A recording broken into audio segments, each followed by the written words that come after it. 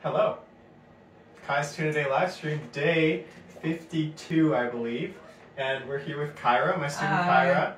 Kyra, um, my third student to, to feature on these live streams. We're actually, we're in a tiny, tiny studio space, so we're crammed in a corner and we're gonna try to play um, the Star of Munster for you guys today. Okay, ready? Yep.